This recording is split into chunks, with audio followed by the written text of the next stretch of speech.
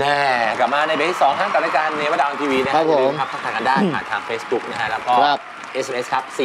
4642200ก่อนเข้ารายการนะครับ ได้เห็นในอัปเดตของเนเหมือนกัน เกี่ยวกับภาพวัยเด็ก ในสเตตัสเหรอไอ้นี่ไอ้หิวมันลง ลงในไหนในลเฟงซในบุ๊กเฟซมันอ๋อเหรอที่บ้านที่บ้านผมขอนึกไงรู้อยู่ๆไปหยิบอัลบั้มอัลบั้มรูปเก่าๆมาดูแหมก็ว่าเดือนนี้คือเดือนเกิดของเนอ่า นะฮะก็เดี๋ยวเดี๋ยวต้องบอกกันเลยนะครับว่า ใครที่อยากจะเห็นพี่เนตอนวัยเด็กนะฮะ มีการลงใน Facebook ด้วย แล้วก็เกิดวันที่ 30 กุมภานะฮะ ใครที่อยากจะเอ่อเบิร์ยี่สิบสี่ฮะยี่สิบสี่ไม่มี 30เหรอไม่มีกุมภามีแค่ 29 เคยมีเพื่อนเกิด 29ไหมสวยสุดสุดสุดๆนะ ๆ แต่มันก็จัดวันที่หนึ่งได้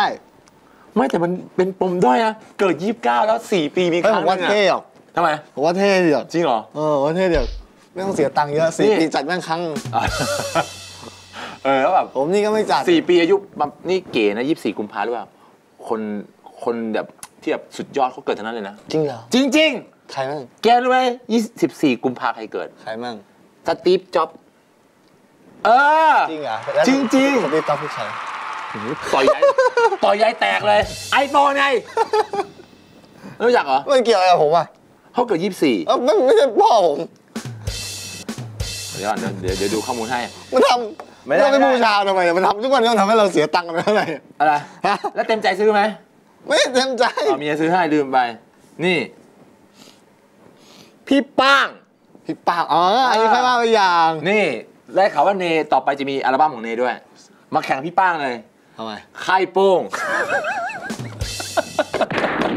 พี่ป้างมีไข่ป้างหรือมีไข่โป้งเนี่ยเดี๋ยวมาดูที่แอบได้ดูข้อมูลมานี่ เจิ้นเซาทิวไม่รู้จักโอ้โหดาราจีนโคตรดังเลยแถวที่เพียงอะรู้จักไหมไม่พออ๋อเลยนั่นแหละอ่าแล้วก็นี่เห็นไหมเห็นไหมคิดไปดูไหมเนี่ยแกเกิดวันเดียวสตีฟจ็อบส์แกก็หรูแล้วไหนวะเอออันนี้เรื่องเรื่องเนี่ยสตีฟจ็อบส์เนี่ยเขาเสียปีอันห้านี้คือสี่อันนี้คือวันเกิดเหรอใช่เขาเกิดนี่อะไรเนี่ยว่าสมสตีฟจ็อบส์เนี่ยเขาเสียห้าสี่แกเสียหลังเขาสี่ปี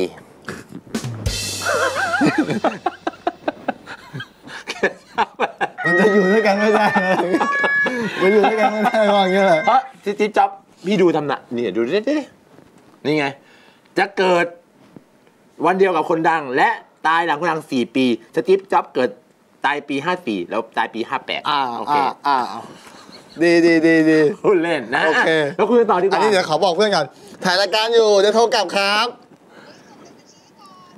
ฮะอ่าเดี๋ยวส่งให้ครับแป๊บนึงครับถ่ายรายการครับรายการเราเรียวไทม์จริง real รายการ time สดมากนะครับผมอะแล้วาไม่มีคุยพิต่อธีกรคนไหนทำแบบนี้ครับเพราะเขามีมารยาทของแหมแกไม่เปิดเสียงด้วยล่ะนะฮะเออเราพูดถึงในเบรกนี้เกี่ยวกับเรื่องของการแชร์ดีกว่าบางคนบอกเฮ้ยอยากจะช่วยโดยเฉพาะคนที่อาจจะมีปัญหาเรื่องครับของ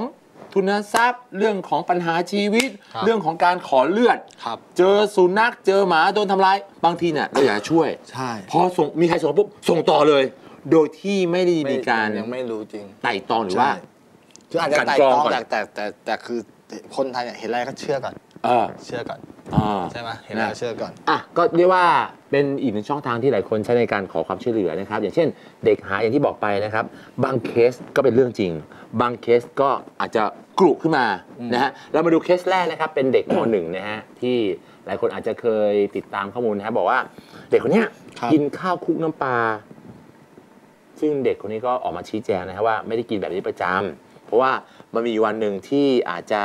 รีบร้อนอะไรประมาณนั้นแหละ แล้วก็เอ่อมีคนใครว่า เดี๋ยวนะเดี๋ยวนะข้อมูลเขาบอกว่า มีคุณป้าแหละ คุณป้าทำอาหารไม่ทัน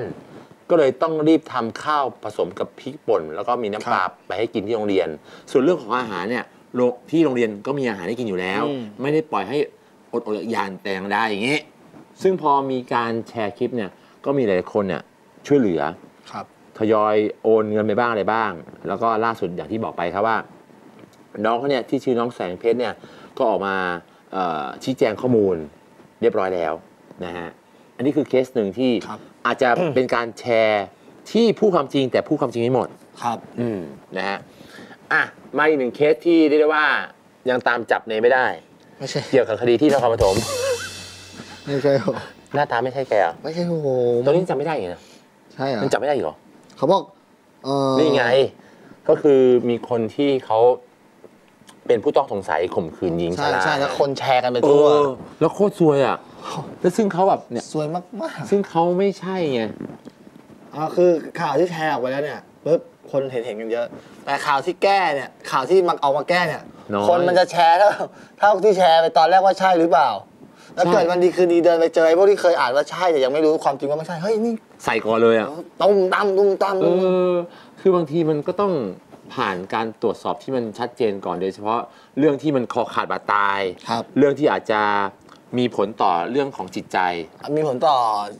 ชีวิตคนอะจริง คือคือถ้าถ้าถ้าถ้าคุณแชร์ไปแล้วแล้วมันไม่ไม่จริงอย่างนั้นนะเออ มันจะมีผลต่อต่อต่อชีวิตคนอื่น แล้วก็ถือเป็น คุณไม่เดือดร้อนหรอกใช่ แต่แต่แต่คนคนอื่นเขาจะเดือดร้อน แล้วก็โชคดีที่ท่านเนี้ยที่เอ่อโดน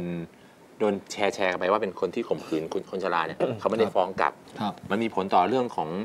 ของคดีเหมือนกันนะ ใช่ หรือว่าอาจจะเป็นเรื่องของจิตใจบางทีมันเสียขวัญน่ะ ใช่ อยู่เฉยๆมาโดนใส่ร้ายโอ้ว่าโหเป็น ถ้าพี่ฟ้องกลับนี่พี่ฟ้องได้เยอะเลยพี่วันนั้นพี่ต้องไม่ต้องทำอะไรเลยพี่ไปนั่งกดเฟซบุ๊กกับใครแชร์กูบ้างวะจดจดจดฟ้องกันละนาวอะทีเนี้ย นะฮะแล้วก็มีผีพายกระซิบมานะครับบอกว่าท่านเนี้ยที่โดนแชร์ว่าเป็นคนที่ข่มขืนคนชราเนี่ยครับ เขาเป็นพ่อค้าอยู่ที่นครปฐมซึ่งมันก็มีผลต่อหน้าที่การงานถูกป่ะใช่ใครจะเชื่อถือว่าใครมาซื้อของเราวะใช่ ใช่ไหมแต่คิดในทางกลับกันถ้าสมมติว่าเรื่องเนี้ยคนออกไปแล้วคนรู้กันเนี้ยอืม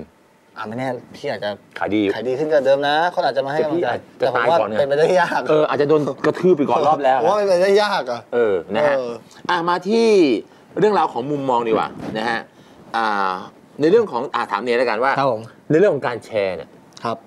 ส่วนมากเขาจะแชร์เรื่องอะไร เรื่องเมื่อกี้บอกไปละส่วนหนึ่งเออออย่างแชร์อย่างอย่างนี้ช่วยเหลือนี่นี่จะอะไรก่อนพิจารณาอะไรก่อน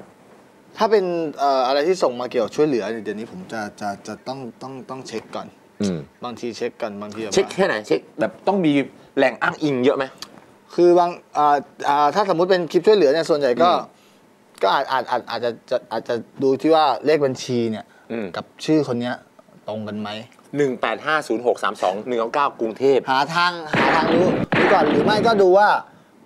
บางทีอย่างเงี้ยเวลาคนช่วยมีแชร์คลิปคนช่วยเหลือเงี้ยจะมีคนเข้าไปคอมเมนต์ว่า อันนี้พี่บินมาช่วยแล้วอ๋ออันนี้ก็ถ้าพอเรารู้ว่าอันนี้พี่บินมาช่วยแล้ว อันนั้นเรามั่นใจ Confirm ว่าได้ของจริงอ๋อเราสามารถแชร์ต่อไม่ใช่ว่าเห็นพี่บินไปช่วยแล้วเราเราไม่แชร์อ่าอันนั้นนะสมควรแชร์เพราะบางทีพี่บินอาจอาจจะไปช่วยไว้นานแล้วอะไรเงี้ยอ่าแล้วคือแบบอาจจะหมดไปหมดไปบางคนอาจจะมีแบบมาย้อมแมวแล้วก็มาเป็นช่องทางการทำมาหากินประมาณนั้นอืมเนยเคยมีประสบการณ์ไหมว่าเคยแชร์อะไรไปแล้วบอกว่า ข่าวเต้าข่าวลวงเคยเจอปะมีไหมเคยมีเคสเคนี้ไหมยอะเคยแต่จำไม่ได้ เคยเคยแต่แต่แต่แต่จำไม่ได้จำได้ว่ามีเคยสามสี่ครั้งอะไรเงี้ยเหมือนโดนหลอก อ่าที่คนแล้ว บอกว่าพี่เนยอันนี้ไม่ไม่ไม่ไม่ใช่นะเออแล้วเราแก้ไขยังไงหรือว่าปล่อยเลยตามเลยก็ลบเอาลบ ลบลบเลยลบเลย แล้วก็เอ่อมีล่าสุดเพื่อนจำได้ป่ะที่ไอ้ผู้หญิงที่ปล่อยปลาปล่อยปลาที่ปล่อยปลา อ่าอ่าของอ่า ของเนยเพื่อนเนยใช่ไหม ใช่ใช่รู้สึกว่าเอ่อมันไปทำบุญที่ที่ที่วัดอะไรสักอย่างเนี่ยทำบุญแล้วก็ถ่ายมาแล้วเห็นวัดแบบ วัดหรืออะไรเนี่ยหรือน่าจะเป็นวัดนะไม่น่าจะไม่ใช่โรงเรียนนะครับผมวัดนะไม่ใช่ไม่ใช่นะไม่รู้ว่าวัดน่าจะเป็นวัดนั่นแหละ แล้วก็คือแบบเอ่อเห็นสภาพวัดคือเหมือนกับว่าวัดแบบเก่ามากเก่าสุดโทรมมากก็แบบว่าเอ่อผู้หญิงคนเนี้ยเพื่อนผมอะไปโพสต์กับแม่เนี่ย เป็นคนที่ชอบทำบุญอยู่แล้วอ่าก็เลยโพสต์แบบเหมือนกับว่าโพสต์เอยากให้คุกันแล้วมาแคปกันว่าช่วยหรือใครว่าจะช่วย เพราะว่ามันก็มันก็จะคอยอย่างนี้ตลอดเห็นอะไรน่าสงสารมันก็จะช่วยเพราะว่าเอ่อ คนติดตาม Facebook มันก็ค่อนข้างจะเยอะ ก็เป็นหลักแสนก็มีทุกครั้งที่มันช่วยเหลือ รวบรวมเงินช่วยเหลือคนก็แจงยอดบริสุทธิ์ออกมาตลอดว่านี่อันนี้นะ คนโอนมาเท่านี้เท่านี้เท่านี้นะ แล้ววัดวัดจนจริงไหมก็ก็จริงก็จริงอ่าแต่มันมีกรณีหนึ่งคือมีน้องผู้หญิงคนหนึ่งอ่าเอาข้อมูลทั้งหมดเนี่ยไม่ว่าจะเป็นรูปไม่ว่าจะเป็นอะไรเงี้ย ไปอ้างอิงไปอีกทีอ้างหนึ่อีงกทีหนึ่งแล้วก็อ๋อแล้วก็เอาบัญชีตัวเองไปโอ้ใช่ตายตายตายตายมิจฉาชีพช่วงนี้มันเพื่อนผมก็เลยแจ้งตำรวจจับ เออแจ้งตำรวจจับไปไปมาเด็กมาขอโทษ เพื่อนผมก็เลยนัดเจออมนัดเจอแล้วก็คุยกัน แล้วก็ตักเตือนไปอืมโดยที่ว่าเอ่อก็สงสารบอกว่าสงสาร เด็กมันก็บอกว่าเออหนูจะไม่ทำอีกแล้วอะไรเงี้ยแม่มันก็มาร้องห่มร้องไห้ เพื่อนผมก็เลยบอกเออเป็นกรณีอืมอันนี้ไปแล้วกันบอกว่าถ้าทำอย่างเงี้ยถ้าไปเจอคนแบบจริง ๆ แบบอืมใจร้ายใจร้ายหน่อยก็อืมก็ติดคุกนะ แต่พูดถึงหลายๆคนเนี่ยเดี๋ยวขอเสริมแล้วกัน อันนี้เพิ่งดูข่าวในตอนเช้ามา เด็กวัยรุ่นสมัยเนี้ยมันจะติดในเรื่องของการเล่นเน็ตครับ ติดเยอะมาก ดูข่าวที่จีนไหมเด็กคนนึงติดมาก พ่อแม่ก็เป็นห่วงเพราะว่าติดอย่างนี้เขาตัดสินใจตัดแขนตัวเอง ตัดตัดมือตัวเองอะ เออ เรื่องจริงเหรอเนี่ยจริงตัดมือตัวเองก็บอกว่าขาดรีบไปต่อที่โรงพยาบาลมั้งอะไรเงี้ย คือแบบมันติดมากไม่รู้จะทำไงมันหาทางออกไม่ได้ ตัดมือตัวเองทิ้งเท่านั้นจะได้ไม่ต้องเล่นเน็ตผู้มันมันบ้าขนาดเนี้ยมันค่อนข้างโรคจิตเลยอันนี้มันก็ก็งงเหมือนกันนะฮะอะเมื่อกี้ตัดมือตัวเองทิ้งตัดเน็ตทิ้งจริงง่ายกว่าเยอะนะ วันไงอะวันไหนมึงคิดว่ามึงติดเกมมากมึงตัดจับเออสงสารจริงๆอยู่ที่เมืองจีนนะฮะโอ้จีนมีอะไรแปลกๆเยอะ เออนะฮะอะอันนี้เราไปฟังมุมมองของหลาย ๆ คนดีกว่าโดยเฉพาะเหล่าดาราศิลปินนะฮะเกี่ยวกับเรื่องของการแชร์ครับ นะฮะอะเชิญครับมีหลาย ๆ คนทั้งน้ำชาเบลล่าลานีเป้อารักษ์นะฮะแล้วก็คุณแพงขวัญข้าวครับเชิญครับเอ่อ พวกภาพที่เหมือนบอกบุญอะไรอย่างนี้ใช่ไหมคะก็ก็จะมีแบบน้องหมาหรืออะไรที่เกิดขึ้นในสังคมที่รู้สึกว่าเฮ้ยมันไม่น่าจะเกิดขึ้นเลยอะไรอย่างเงี้ยชาก็จะมีโพสต์ว่าอย่างทำร้ายหมายิงหมาตายอะไรอย่างเงี้ยชาก็รู้สึกว่าเฮ้ยมันแบบ มันไม่ควรจะเกิดขึ้นอะไรอย่างเงี้ยถ้าช่วยแชร์ แล้วก็เหมือนเป็นอุทาหรณ์ให้คนได้อ่านต่อมันก็เป็นสิ่งที่ดีอะค่ะก็ชาคิดว่าพวกภาพบอกบุญ หรือภาพที่สะท้อนถึงสังคมอะไรแบบเนี้ยมันก็เป็นสิ่งที่ดีนอกจากภาพสนุกสนานของเราแล้วอะไรอย่างเงี้ยมันก็เหมือนเราได้ได้ทำให้คนได้ได้คิดอะไรบางอย่างทำให้สังคมมันดีขึ้นมันก็ดีค่ะเหมือนช่วยสังคม แล้วก็ทำบุญไปในตัวด้วยอะค่ะ คือจะมีกลุ่มนักแสดงของช่องสามอะค่ะเขาจะแชร์กันเรื่อยๆ บางทีก็จะเป็นเรื่องแบบเรื่องทำบุญก็บ่อยค่ะ เรื่องแบบชวนกันไปทำบุญทอดกระถินต่างจังหวัดอะไรอย่างเงี้ยค่ะ จะเป็นบอกบุญซะเยอะ ก็ถ้ามันเป็นฟิลเหมือนคล้ายๆ แชร์ลูกโซ่เหมือนแบบแชร์ต่อๆกันเยอะๆอะไรเงี้ยก็อยากอยากให้เช็คข้อมูลสักนิดนึงว่าแบบเออพ่อของคนนู้นคนนี้บางทีเนาะแบบป่วยหรือว่าให้โอนเงิน ถ้าถ้ามันเรื่องแบบมีเรื่องการโอนเงินอะไรเงี้ยน่าจะเช็คข้อมูลก่อนบางทีมันเป็นมันเป็นแบบข้อมูลเก่าที่ส่งกันมานานแล้วอะไรแบบนี้ค่ะ แต่ถ้าเรื่องบริจาคเรื่องช่วยสังคมก็จะไม่ไม่มีปฏิเสธอะไรเงี้ยค่ะ ช่วยหมดทุกที แต่ถ้าเป็นถ้าเป็นที่ ที่บางอย่างที่ดูแบบว่าโหโฆษณาเกินไปก็อาจจะขอนิดนึง ล่าสุดเหรอช่วยเรื่องอ๋อการกุศลของน้องคิด คิดเป็นจรงคกุลก็ช่วยขายเสื้อไปค่ะ เอาไปช่วยเรื่องเด็กตาบอดอะไรพวกเนี้ยค่ะ ก็ช่วยเสื้อเรื่องเสื้อผ้าเขาคือก็อยากให้แชร์ในเรื่องดีๆกันนะคะเป็นเรื่องที่ส่งเสริมให้สังคมสวยงาม แล้วก็แบบเหมือนเพราะมันเป็นแบบอย่างที่ไม่ดีแล้วมันแบบถ้าไม่ดีเนี่ยมันเร็วในการที่จะเข้าถึงก็เป็นแบบอย่างให้ดีที่ดีให้กับเยาวชนด้วยทุกคนที่ได้เห็นค่ะขอบคุณค่ะ แล้วแต่คนที่ส่งมาเลยครับผมส่งมาเมื่อไหร่ผมก็แชร์เมื่อนั้นนะครับผมแต่จะไม่ได้เยอะมากๆนะครับผมมันไม่ค่อยได้แชร์เรื่องเงินนะครับผมผมแชร์เรื่องว่าเฮ้ยถ้าเกิดบริจาคเลือดหรืออะไรเงี้ยมันก็เป็นความสมัครใจอยู่แล้ว แต่เรื่องการบริจาคเงินผมไม่ค่อยกล้าครับผมแล้วก็ซอสที่มาส่วนใหญ่น่าจะมาจากเพื่อนผมที่ค่อนข้างไว้ใจได้ครับก็ดูกันดีๆนะครับผมคนที่ชอบรับฟังด้วยดีกว่า ว่าเรื่องที่จะรับฟังเรื่องที่มันถูกต้องครับผม นะฮะอะก็คือหลักๆก็เสียวจะช่วยคนที่ยากจนคนที่ตกอับรวมถึงเรื่องของสิงสารสัตว์ด้วยนะฮะอะก็ อยู่ที่วิจารณญาณของแต่ละคนแล้วกันก่อนที่จะแชร์ต่อไปอะลองลองเช็คข้อมูลอย่างที่เนลองใช่ลองลองดูว่าเอ้ยมันน่าจะจริงหรือไม่จริงนะฮะอะก็เป็นประสบการณ์ที่เอามาแชร์กันในวันนี้นะครับเดี๋ยวเบรกหน้าเราจะมาพร้อมกับการตอบคำถามหน้าเฟซใช่มีคำถามส่งมาเยอะเลยนะฮะหรือถ้าคุณอยากจะทักประมาณทาย เจ็ดคำถามนะครับ เอาเราเราคัดแต่หัวกะทิมา 4 6 4 2 2 0 นะฮะ ก็เพิ่มเติมคำถามมาได้นะฮะ ผ่านทาง SMS เดี๋ยวกลับมาแป๊บเดียวครับ